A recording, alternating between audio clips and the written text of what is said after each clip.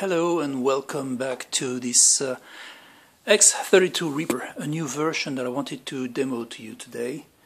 Um, so this is basically uh, the new program here, uh, this uh, new window on top here. Uh, you can see that there is now a GUI that helps you set some parameters as well as, as you know, uh, run and stop the X32 Reaper. Um, so when you start the program, this, basically this is the window that comes up. It's important to set up correctly the parameters. Uh, for this, basically you go in Options, okay, then go down to Preferences, and you get this panel in Reaper. This panel is the, uh, you check the control surface, which is here at the bottom and in this control surface you select basically your configuration. Now what you can see here is I have basically the configuration. My computer running Reaper is at IP whatever 0.3 okay and turns out the device seen by Reaper which is basically my X32 Reaper program is also running on the same computer so its IP will also be whatever 0.3 then it has a port uh, it sends to and a port it receives from. Okay, those two parameters should be copied as they are in this panel here. So this is the same value as the Reaper uh, sent to and the same value as the Reaper received from. Okay, that you have here. Once you have those two values set up, you can actually say that yes, my Reaper program is actually running, this is the host value that you put here, and the host value you can find it here in the Reaper panel. And you set the IP address of your X32. Okay, so we can quit this and look at the uh, user section on the X32 table.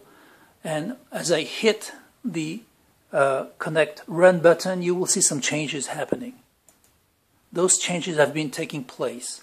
Okay, so now this is actually on that layer C, which is uh, shown by the, the light, you know, on the very right uh, side. This layer uh, C is used as a transport for Reaper. Um, the old things, quote unquote old, run as they used to run before, which means that, you know, for that Reaper, I can try to find if I can see, yes. I can see fader number one on the very left, and you will see the fader number one as well on the Reaper uh, section at the very right. Okay, when I move this fader, the fader Reaper, the, the Reaper fader moves as well. I hope you can see it.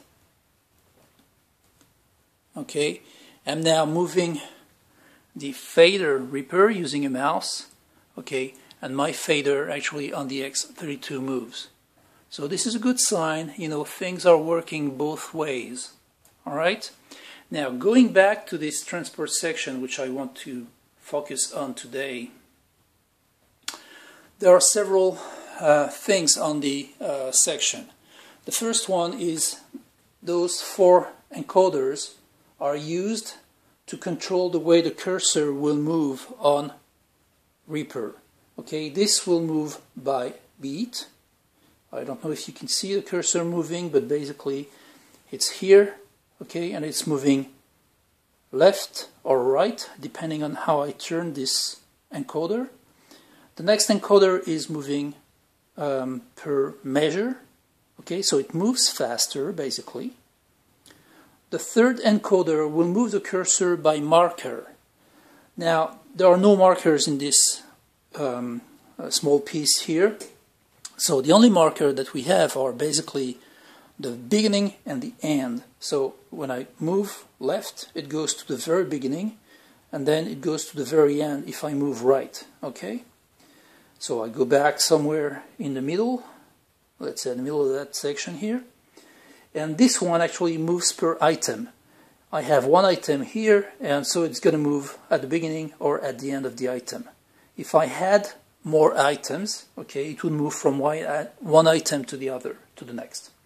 So, back to this, and then we have buttons here. Those buttons are respectively going at the very beginning of the, the project, and number four, or number, uh, sorry, eight, is going at the very end of the project. Okay, you can see that happening. You know, this makes the uh, whole section move. Then I have a play section, a play button, which is number six, is going to play. And that actually reflects in Reaper as well. The button is lit and it reflects in Reaper. If I decide to pause from Reaper using the mouse, you can see that I can pause here and it's going to pause as well, which shows actually that this button is the pause button.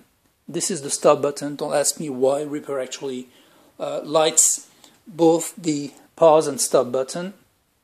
This is the, the feedback actually is coming from Reaper. It's not you know something that I built in.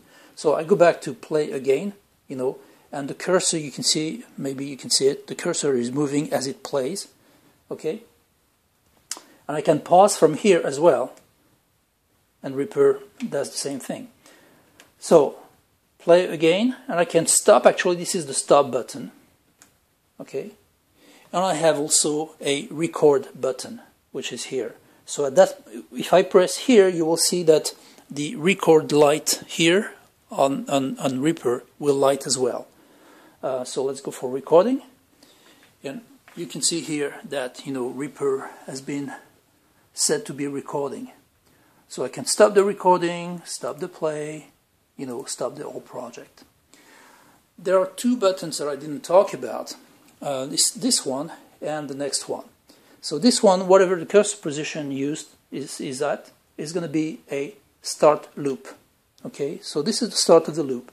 And then I move the cursor somewhere, a little bit further, and I hit the button again, and it will say, this is the end of the loop. So now basically I have defined a loop in that section. If I set the repeat button, which is going to be number 10, on, the repeat section here is lit, and if I hit play, the play will happen between the start and the end of the loop and nowhere else.